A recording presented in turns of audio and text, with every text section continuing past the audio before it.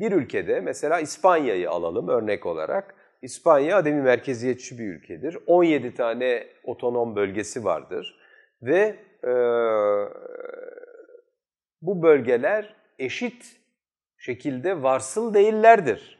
E, kaynak e, açısından merkezle yerel arasında doğru bir ilişki kurulmamışsa bu sorun yaratır e, uzun vadede. Çünkü e,